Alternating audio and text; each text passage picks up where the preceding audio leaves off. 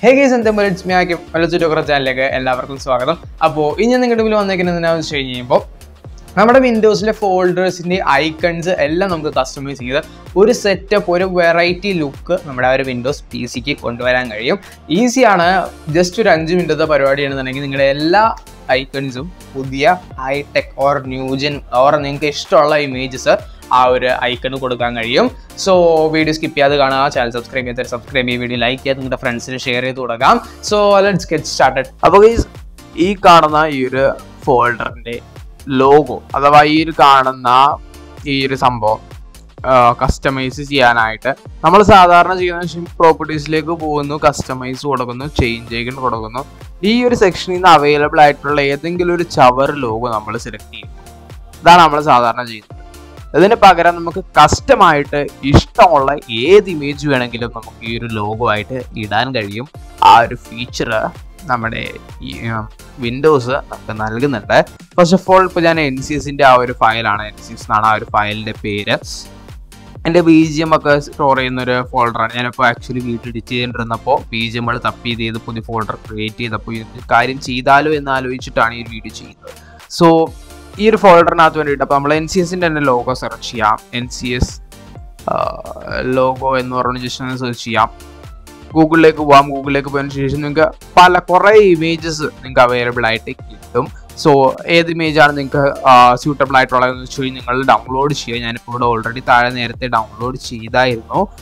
Download ചെയ്തതിന് ശേഷം നിങ്ങൾ എന്താ ചെയ്യേണ്ടതെന്ന് വെച്ച് കഴിഞ്ഞാൽ dot S V G file അഥവാ dot P N G file ആയിരിക്കും ഏത് ഫയൽ ഫോർമാറ്റിലാണോ നിങ്ങൾക്ക് വരുന്നത്. ഇപ്പോൾ ഞാൻ വേറെ ഒരെണ്ണോട് നിങ്ങളുടെ മുന്നിൽ വെച്ച് ലൈവായിട്ട് കാണിച്ചു തരാം. ഇതാണ് എൻ സി സിന്റെ വേറൊരു ഇത്. റൈറ്റ് ക്ലിക്ക് ചെയ്തു സേവ് ഇമേജസ് കൊടുത്തു. പി എൻ ജി ഫയലാണ് ഡൗൺലോഡ്സ് ഫോൾഡർ കൊടുത്തിട്ട് സേവ് കൊടുക്കാം സേവ് കൊടുത്തതിന് ശേഷം നമ്മുടെ dot P N G file ഇവിടെ വന്നിട്ടുണ്ട്. അപ്പോൾ dot S V G file ഉണ്ട്. Dot P N G file രണ്ട് ഫയൽസ് ഉണ്ട് നമുക്ക്. അപ്പോൾ ഏതാണോ ലാസ്റ്റ് വരുന്നത് ആ ഡോട്ടിന് ശേഷം വരുന്നത് എന്താണോ ആ ഒരു നിങ്ങൾ ജസ്റ്റ് സെർച്ച് ചെയ്ത് തുടങ്ങാം. ആദ്യം ഞാനിപ്പോൾ S V G to I C O എന്ന് പറഞ്ഞ സെർച്ച് ചെയ്ത് കൊടുക്കാം S V G to I C just അങ്ങനെ മാത്രം സെർച്ച് ചെയ്ത് കൊടുത്താൽ മതി. ക്ലൗഡ് കൺവേർട്ട് എന്ന് പറഞ്ഞുകൊണ്ട് ഈ ഒരു സൈറ്റ് വരും. ഏത് സൈറ്റ് ആയാലും കുഴപ്പമില്ല. എല്ലാത്തിലും കറക്റ്റ് ആയിട്ട് കൺവേർഷൻ നടക്കുന്നതായിരിക്കും. എന്നിട്ട് അതിനുശേഷം നിങ്ങൾ ഈ ഒരു സ്ക്രീനിൽ എത്തി കഴിയുമ്പോൾ ഇതേപോലെ ആയിരിക്കും സെലക്ട് ഫയൽ എന്നായിരിക്കും വരുന്നത്. അപ്പോൾ നിങ്ങൾ ഇതിനകത്ത് N C S logo dot S V G എന്ന് പറഞ്ഞാൽ ഈ ഒരു S V G file select ചെയ്യാം ഓപ്പൺ കൊടുക്കാം.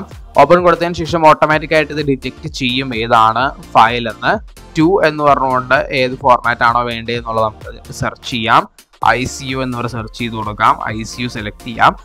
ഐ സി സെർച്ച് ചെയ്ത് കഴിഞ്ഞു. ജസ്റ്റ് താഴത്തെ കൺവേർട്ട് സെലക്ട് ചെയ്ത് കൊടുക്കാം. കൺവേർട്ട് ക്ലിക്ക് ചെയ്ത് കഴിഞ്ഞപ്പോൾ നമ്മുടെ ഇത് പ്രോസസ്സിംഗ് ആയത് ഫിനിഷ് ആയി. ജസ്റ്റ് ഡൗൺലോഡ് ക്ലിക്ക് ചെയ്ത് കഴിഞ്ഞാൽ നമ്മുടെ ആ ഒരു I C O file download ആവുന്നതായിരിക്കും. ഇനിയിപ്പോൾ മറ്റേ ആ ഒരു ഇമേജ് ആണ് നമുക്ക് കൺവേർട്ട് ചെയ്യേണ്ടത് എന്നുണ്ടെന്നുണ്ടെങ്കിൽ പി എൻ ജി ഫയലാണ് കൺവേർട്ട് ചെയ്യേണ്ടതെന്നുണ്ടെങ്കിൽ ജസ്റ്റ് ഒന്നും കൂടി റീഫ്രഷ് ചെയ്യാം. ഇതൊന്ന് ക്ലിയർ ചെയ്യാം. ആൻഡ് സെലക്ട് ഫയൽ കൊടുക്കാം. P N G file upload ചെയ്യാം. ഓട്ടോമാറ്റിക്കലി ഒരു ഡോട്ട് പി എൻ ജി എന്ന് പറഞ്ഞതുള്ള കാരണം പി എൻ ജി ആണെന്ന് ഇവർ ഡിറ്റക്ട് ചെയ്തിട്ടുണ്ട്. കൺവേർട്ട് ടു എന്ന് പറഞ്ഞുള്ളവിടത്ത് നമ്മൾ ഐ സി ഒ എന്ന് പറഞ്ഞ് സെർച്ച് ചെയ്തല്ലാന്നുണ്ടെങ്കിൽ ഇതേപോലെ കാണുകയാണെന്നുണ്ടെങ്കിൽ ഐ സി യു സെലക്ട് ചെയ്യാം ശേഷം കൺവേർട്ട് കൊടുക്കാം. കൺവേർട്ട് കൊടുത്തതിന് ശേഷം നമ്മുടെ ആ ഒരു ഫയലും ഐ സി ഒ ഫയലായിട്ട് ഡൗൺലോഡ് ആയിട്ട് കിട്ടിയിട്ടുണ്ട്. സോ ഇനി നമുക്ക് ക്രോമിന്റെ ആവശ്യമില്ല. ക്രോം മാറ്റാം. ക്രോമ് മാറ്റിയതിന് ശേഷം നമ്മുടെ ഡൗൺലോഡ്സ് ഫോൾഡറിലേക്ക് പോയി കഴിഞ്ഞാൽ രണ്ട് ഐ സി ഒ ഫയൽ നമുക്ക് ഇവിടെ വന്നെടുക്കുന്ന കാണാൻ കഴിയും. അപ്പോൾ ഞാൻ പിന്നെ റെക്കമെൻഡ് ചെയ്യുന്നത് ഇതേപോലെ ഐക്കൺസ് നമ്മൾ എന്തെങ്കിലും ഐക്കൺസ് ക്രിയേറ്റ് ചെയ്യുവാണ് ഏതെങ്കിലും വേണ്ടിയിട്ട് നമ്മൾ കസ്റ്റം ഐക്കൺസ് ക്രിയേറ്റ് ചെയ്യുവാണെന്നുണ്ടെന്നുണ്ടെങ്കിൽ ഇതേമാതിരി ഡൗൺലോഡ്സിലൊക്കെ ഇട്ട് കഴിഞ്ഞ് കഴിഞ്ഞാൽ ചിലപ്പോൾ ഡിലീറ്റ് ആയി പോകാൻ ചാൻസ് കൂടുതലാണ്. അതുകൊണ്ട് തന്നെ നമ്മൾ വിൻഡോസിനകത്തേക്ക് പോകാം വിൻഡോസിനകത്തേക്ക് പോയതിന് ശേഷം യൂസേഴ്സ് ഏതെങ്കിലും ഒരു ഫോൾഡർ അതിനകത്ത് ആപ്പ് ഡാറ്റ ലോക്കൽ ഇതാണ് ഞാൻ സാധാരണ ഇതേപോലത്തെ എന്തെങ്കിലും ഫയൽസ് സ്റ്റോർ ചെയ്യുവാണെന്നുണ്ടെന്നുണ്ടെങ്കിൽ യൂസ് ചെയ്യുന്ന ഫോൾഡർ അപ്പോൾ ഇതിനകത്ത് ഐ സി ഒ എന്ന് പറഞ്ഞ ജസ്റ്റ് ഒരു ഫോൾഡർ ക്രിയേറ്റ് ചെയ്തിട്ടുണ്ട് ഐ സി എന്ന് പറഞ്ഞ ഫോൾഡർ ക്രിയേറ്റ് ചെയ്തതിന് ശേഷം ഞാനിപ്പോൾ ഈ ഒരു ഫോൾഡ് ഐക്കൺസ് രണ്ടും ഇവിടെ പേസ്റ്റ് ചെയ്തു. നിങ്ങൾക്ക് ഇങ്ങനെ ഫോൾഡർ ക്രിയേറ്റ് ചെയ്യണമെന്നില്ല. ഞാൻ ജസ്റ്റ് ഒരു സേഫ്റ്റിക്ക് വേണ്ടിയിട്ട് ഒരു ഓർഗനൈസ്ഡ് ആയിട്ടുള്ള ഒരു ഇത് വരാൻ വേണ്ടിയിട്ടാണ് ഞാനിപ്പോൾ ഇങ്ങനെ ക്രിയേറ്റ് ചെയ്തിട്ടേക്കുന്നത്. നിങ്ങൾക്ക് ചിലപ്പോൾ ഈ ഒരു പ്രോഗ്രാം ഡാറ്റ അഥവാ ആപ്പ് ഡാറ്റ എന്ന് പറഞ്ഞ ആ ഒരു സംഭവം നിങ്ങൾക്ക് കാണാൻ പറ്റത്തില്ല ചിലപ്പോൾ ആപ്പ് ഡാറ്റ എന്ന് പറയുന്നത് ഹിഡൻ ഫോൾഡർ ആണ്. അത് ചെയ്യാനായിട്ട് ഈ വ്യൂവിനകത്ത് ഷോയിന് ഷോയിലേക്ക് പോവുക ഷോയിന് ശേഷം ഹിഡൻ ഐറ്റംസ് പറഞ്ഞ ഈ ഒരു സംഭവം സെലക്ട് ചെയ്ത് കഴിഞ്ഞ് കഴിഞ്ഞാൽ ആ ഒരു ഹിഡൻ ഫോൾഡേഴ്സ് ഒക്കെ നിങ്ങൾക്ക് കാണാൻ കഴിയുന്നതാണ്. സോ ഈ ഒരു വീഡിയോ ഇത്ര നേരം കണ്ടിരുന്നവർക്ക് വേണ്ടിയിട്ടുള്ള ഒരു എക്സ്ട്രാ ടിപ്പും നമ്മളിപ്പോൾ ആഡ് ചെയ്തിട്ടുണ്ട്.